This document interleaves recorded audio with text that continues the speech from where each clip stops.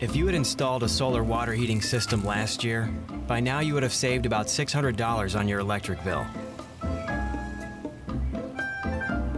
That's enough to buy 200 pairs of slippers.